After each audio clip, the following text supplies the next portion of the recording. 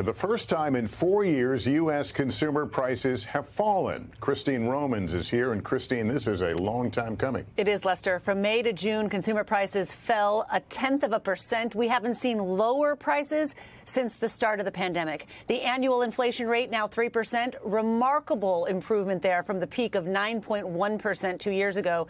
Prices fell this month for gas, used cars and trucks, airfares, other transportation services, and that decline in gasoline more than offset rising housing costs. Grocery store prices up slightly, but for 2024 so far, average grocery inflation is essentially it's flat. And because wages have been rising faster than inflation for a year now, people may finally start feeling a difference. It may also be a turning point in the Federal Reserve's inflation fight, coupled with still strong but cooling jobs growth. It signals the Fed may be able to cut interest rates sooner rather than later.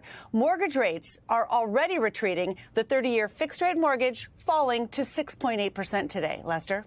Thanks for watching. Stay updated about breaking news and top stories on the NBC News app or follow us on social media.